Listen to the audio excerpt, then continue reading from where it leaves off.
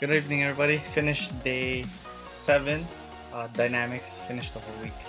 Um, not what I was expecting. I thought it was a stretch workout, but uh, pretty good.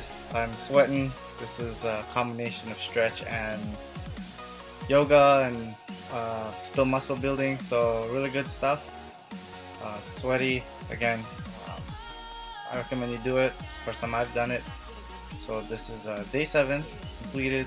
Um, Dynamix. Uh, thank you for your support. Subscribe, like, comment, and uh, see you next time. Thank you very much.